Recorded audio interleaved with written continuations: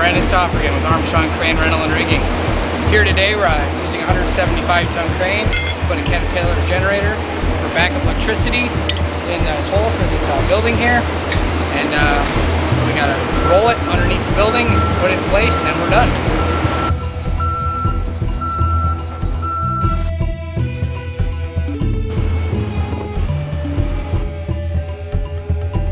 I'm Jeff Madden with Parsons Electric and we're overseeing the generator going down into the sub basement. So uh, we made the steel to pick the concrete up and we're just going to be here for support, get everything down, get the generator spotted in place today.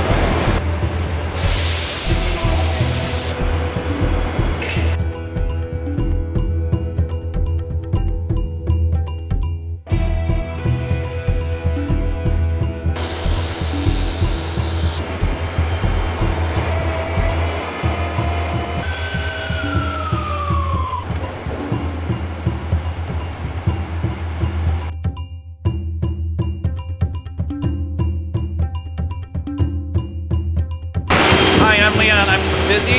Today we're putting in a new generator in our St. Paul Data Center, world-class facilities for hosting for our customers, and this will more than double our capacity to serve our customers.